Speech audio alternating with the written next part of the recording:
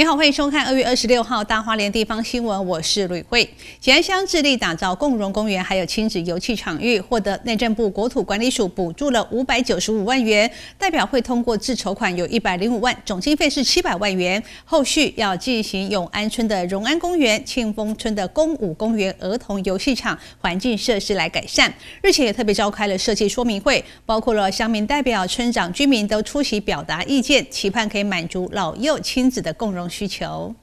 吉安乡人口成长及都市化快速，但公共空间稀少，以及儿童游戏场设施受法源规范，必须拆除早期不符合标准的老旧游戏场，乡内孩童可游戏空间不足。因此，乡公所盘点公园游戏设施，着手改善。乡公所提计划案，获内政部国土管理署补助五百九十五万元，代表会通过自筹款一百零五万元，总经费七百万元。日前召开设计说明会，将对永安村荣安公园、庆丰村公武公园儿童游戏场环境设施先行施作。一百一十二年十一月开始，收到了所有各个公园以及游乐设施规范，我们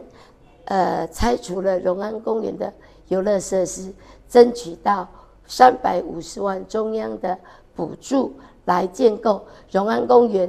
公园及社区化、社区及公园化的一个儿童乐园的设施执行的要项。今天开启了地方的说明会，希望我们的乡亲带来更多事性以及在使用上以及在整个生活空间上的一个呃最重要的地方意见。希望我们共构最好的建设就在吉安，也就在社区的公园里。所以，我们希望乡亲的意见就是乡公所未来执行的目标，我们一定会苛政做好每一个圆满施政的建设在吉安。